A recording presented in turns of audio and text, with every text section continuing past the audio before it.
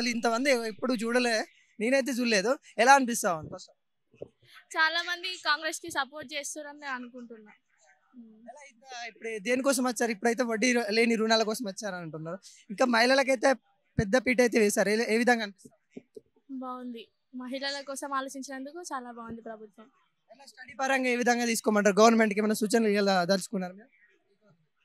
అని అంటే ఇప్పుడు నార్మల్గా గవర్నమెంట్ స్కూల్స్ కాలేజెస్ ఉంటున్నాయి కదా. అందులో కూడా కాలేజెస్ స్కూల్స్ ఉంటున్నాయి కానీ అందులో సరిపడా స్టడీ ఉంటలేదు అనమాట లెక్చరర్స్ టీచర్స్ ఎవరు ఉండలేరు. సో అవన్నీ ఫిల్అప్ చేస్తే నార్మల్ విలేజ్ వాళ్ళు కూడా స్కూల్కి వెళ్తారు కదా అని నా ఉద్దేశం అనమాట స్టూడెంట్గా ఇప్పుడు మీ స్టూడియో మీ విద్యా వ్యవస్థ ఏ విధంగా ఉందని అంటారు నా విద్య పర్లేదు బాగానే ఉంది. బట్ గవర్నమెంట్ స్కూల్స్ కాలేజెస్ సంబంధించి మాత్రం అట్లా చేస్తే బాగుంటుంది అనుకుంటున్నా.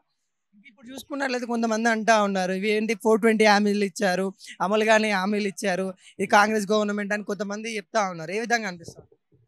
లేదు అన్ని అమలు చేస్తున్నాడు. అంటే టైం పడుతుంది కదా. టూ మంత్స్ త్రీ మంత్స్లో అన్ని చేయాలంటే కష్టం కాబట్టి అవుతుంది. విత్ ఇన్ వన్ ఇయర్లో అన్ని అప్లై చేస్తాడు చేస్తాడు. నమ్మకం ఉంది అంటున్నాం ఉంది నమ్మకం ఉంది.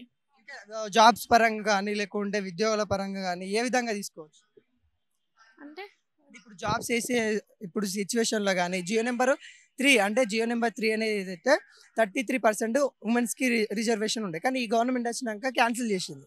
అదేంటంటే ట్వెల్వ్ పర్సెంట్కి పడిపోయింది. దాన్ని మహిళలకి అపోజిట్గా ఉండి ఇక్కడ ఇంత స- ఇది జరుగుతా ఉంది కదా ఏ విధంగా తీసుకోవచ్చు అంటే రిజర్వేషన్ తగ్గిందని అంటారు అమ్మాయిలకి. ఏ పర్లేదు. ఎందుకనంటే అందరు చదువు చదువు విషయంలోనా? చదువు విషయంలోనా? ఓకే. చదువు విషయంలో అంటే అబ్బాయిలు అమ్మాయిలు ఇద్దరు కష్టపడుతున్నారు కాబట్టి అట్లా జరిగినా ఏం పర్లేదని అనుకుంటున్నాను ఉండాలి. పోటీతత్వం ఉండాలి. క్యాస్ట్ రిజర్వేషన్స్ కూడా తీసేస్తేనే బాగుంటుందని అనుకుంటున్నాను. డిఫరెంట్ ఏమంటారు? గత ప్రభుత్వాలకి ఈ భవన్కి డిఫరెంట్ ఏముందంటే ఏం చెప్పదలుచు? అంటే అప్పటి ప్రభుత్వం చాలా మోసం అట్లుంటుండే కానీ ఇప్పుడు కొంచెం బాగుంటుందని అనుకుంటున్నాను అంతే. తెలియదు ఇంకా వన్ ఇయర్ వరకు మొత్తం తెలుస్తుంది. చాలా బాగా అనిపిస్తుంది మాకు. ఇంతమంది మందిని ఒక్కతాన చేర్చి మహిళలకు ఉన్నత స్నానము మనకి ముఖ్యమంత్రి రేవంత్ రెడ్డి గారు ఇచ్చినందుకు మాకు చాలా హ్యాపీగా ఉంది. అదేవిధంగా మేము మహిళా సంఘాలలో చేరి ఇంకా గొప్ప స్నానాలు చేరుకోవాలని మమ్మల్ని ఎంకరేజ్ చేస్తున్నందుకు ఇంకా బాగుంది.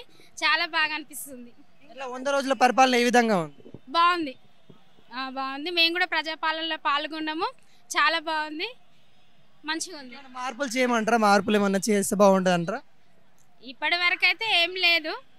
ఇంకా వాళ్ళకి ఏదైనా ఆలోచన వచ్చి చేస్తే ఓకే. మేము అంగీకరిస్తాం అన్నిటికీ. మల్లపూర్ గోకుల్ నగర్. ఎలా అనిపిస్తా ఉంది ఇక్కడ సిచ్యువేషన్ ఇది? వీళ్ళందరిని చూశారు. కనుల విందుగా ఉందా? ఎలా అనిపిస్తుంది? బాగానే ఉంది. అంత అయితే పర్వాలేదు. మంది జనాలు అంతా ఓకే. కానీ కొంచెం మర్యాద లేకుండా కొంచెం మన లేడీస్ లేడీసే ఏదో ఇంట్లోకించి తెచ్చుకున్నట్టుగా అట్లా ఫీలింగ్లా ఉన్నారు అంతా. కొంచెం ఇక మాకు వస్తుంటే అయితే పర్వాలేదు బస్సులో. మాకు ఇచ్చేటి ఏది ఇచ్చినా పర్వాలేదు. కానీ ఇక్కడ వచ్చినాక కొంచెం ఏంటంటే అట్లా చేస్తారు. లేడీసే. పరిపాలన ఎలా ఉంది అనిపిస్తా ఉంది? పరిపాలన అంటే జీరో బిల్ అని అమలు చేశారు. ఇంతవరకు అయితే మా ఏరియాకు ఒక ఇద్దరు ముగ్గురికి తప్ప గోకులనారు. ఎవరికి రాలేదు. సొంత ఇండ్లు ఉన్నోళ్ళకి రాలే రెంట్ ఉన్నోళ్ళకు రాలేదు కిరాయి ఎవరికి రాలేదు. మరి మళ్ళీ అప్లై చేయాలా దాన్ని ఏంది అన్నది మనకు తెలియదు. లేని వాళ్ళకే. అరువులు వాళ్ళు అరువులు కాదా? ఇట్లా మరి? అరుగులకే రెండు వందల యూనిట్లు అని చెప్పాడు కదా. అది మించక ముందు వల్ల కూడా రాలేదు. ఏదో మా కాలనీ వాళ్ళైతే ఇద్దరు ముగ్గురికి వచ్చింది అని అన్నారు. అంత పెద్ద కాలనీకి. తర్వాత అయితే ఎవరికి రాలేదు. అడిగారా? అధికారులను అడిగారా పోయి? వెళ్ళలేదు నిన్న మొన్ననే వచ్చినాయి కదా బిల్లులు. సరే ఈ రోజు మీటింగ్ ఉందంటే సరే తెలు వస్తామని వచ్చినాము. మళ్ళీ అడిగితే తెలిసిన వాళ్ళని అడిగితే అప్లై చేసుకోండి అని అంటారు మరి చేసి చూస్తే తెలియ తర్వాత తెలుసు రైతు బంధు కానీ అవి ఏ విధంగా? పడ్ మాకైతే కొంచెం ఉంది. అప్పుడు ఎలా పడ్డాయో ఇప్పుడు అలానే పడుతుంది. ఎక్కువైతే లేదు. ఇంట్లోకి అప్లై చేసినాము. మరి ఇంతవరకు అయితే రాలేదు. ఎట్లా వస్తుంది ఏందన్నది తెలియదు ప్రభుత్వాలతో పోలిస్తే ఈ గవర్నమెంట్ బెస్ట్గా ఉందా లేకుంటే ఎలా ఉంది అంటే ఇప్పుడు ఇంకా మనకు వచ్చి కొన్ని రోజులు అయింది కదా చేస్తుంటే మనకు అన్నది తెలుస్తుంది. అన్నమాట కొన్ని అయితే నిరవే తీర్చినాయి. యాక్చువల్గా గత ప్రభుత్వంలో జీరో వడ్డీ అన్నారు. కానీ మాకు పదేళ్ళలో ఒక్క పైసా కూడా రాలేదు. ఇప్పుడు ఈ జీరో వడ్డీ ఇస్తామని అన్నారు. ఈసారి మరి ఈ ప్రభుత్వం ఇస్తుందని మేము వెయిట్ చేస్తున్నాము. ఇంతవరకు టెన్ ఇయర్స్లో మాకు ఒక్కసారి కూడా రాలేదు. ఇంట్రెస్ట్తోనే మేము డబ్బులు తీసుకుంటున్నాము. ఇంకా భీమా బీమా ఒకటి అంటున్నారు కదా ప్రతి మహిళకి బీమా అంటున్నారు అదొకటి. ఇంతమంది మహిళలు ఉన్నారు స్కిల్ డెవలప్మెంట్ ప్రోగ్రామ్స్ ఏమన్నా చేసి మాకు స్కిల్ డెవలప్మెంట్ ఇస్తే బాగుంటుంది. అది ఏ ఏరియాకి ఆ ఏరియాకి? ఎక్కడో ఉన్నాయి కొన్ని కొన్ని. ప్రతి ఒక్కళ్ళు దూరం వెళ్ళలేరు కదా ఒక టైలరింగ్ పెట్టిన. అయినా ఇంకా పాతకాలం లాగానే టైలరింగ్ ఎంబ్రాయిడరీ కాకుండా ఇప్పుడు సొసైటీకి కావాల్సినవి కంప్యూటర్లో కానీ అలాంటివి ఇస్తే బాగుంటుందని మేము కోరుకుంటున్నాము. అంటే ఇలాంటి ఉచిత పథకాలు కాకుండా స్కిల్ డెవలప్మెంట్ అలాంటి లేకుంటే ఎవరికైనా మహిళలకు ఉపయోగపడేది వాటికి పెడితే బాగుంటుంది అని అనుకుంటుంది అన్నీ బాగుంటుంది. ఉచిత పథకాలతో మాకు అంత పెద్ద అవసరం లేదండి. ఉచిత పథకాల కన్నా అవసరమైనవి మహిళలకి అవసరమైనవన్నీ చేస్తే బాగుంటుంది. ఇప్పుడు ఆర్టీసీనే ఉంది. ఇంతమందికి ఉచితం ఓకే. ఇవ్వాల్సిన వాళ్ళకి ఇవ్వండి. అందరికీ అనేదానికన్నా అవసరం నీడీ పీపుల్కి ఇవ్వండి. ప్రతి ఒక్కళ్ళకి కాకుండా అని మేము అనుకుంటున్నాము. ఎవరికైతే అవసరం ఉందో వాళ్ళకి ఇస్తే బెటరు పథకాలు ఇవ్వండి. అక్కర్లేని వాళ్ళకి మంచి మంచి మంచివి డెవలప్ చేయండి. ఎడ్యుకేషన్ సిస్టమ్ కానీ లేకపోతే స్కిల్ డెవలప్మెంట్ కానీ అలాంటివన్నీ ఇప్పుడు చదువుకున్న వాళ్ళు ఎంతో మంది ఉన్నారు. వాళ్ళకి ఉద్యోగాలు లేక ఉన్నారు. వాళ్ళందరికీ ఉద్యోగాలు కల్పించడము ఉద్యోగ అవకాశాలు కల్పిస్తే బాగుంటుందని మేము కోరుకుంటున్నాం. ఉచిత ఇప్పుడు గత ప్రభుత్వాలు చూస్తే కొద్దిగా అప్పుల పాలైతే చేసింది. ఈ ప్రభుత్వాల ఫ్రీ పథకాల ద్వారా మరి ఇలా తీసుకురావడము అనవసరమైన వాటికి వృధా ఖర్చు చేయడం ఏ విధంగా? అంటే యాక్చువల్గా ఇది వృధా అని కూడా అనలేమండి. ఒక దగ్గరికి అందరూ సంఘటితంగా రావడం కూడా వెరీ ఇంపార్టెంటే కాకపోతే అందులో నుంచి అవసరమైన వాళ్ళకి ఇవ్వండి. ఇప్పుడు పూలు అమ్ముకోవడానికి వస్తున్నారు. చీపుర్లు అమ్ముకోవడానికి వస్తున్నారు. వాళ్ళకి ఇవ్వండి. గవర్నమెంట్ ఉద్యోగాలు చేసే వాళ్ళకి నెలకి లక్ష రూపాయలు జీతాలు చేసుకునే వాళ్ళకి ఫ్రీలు అవసరం లేదు కదా. ఎవరికి అవసరమో వాళ్ళకి ఇవ్వండి. అది.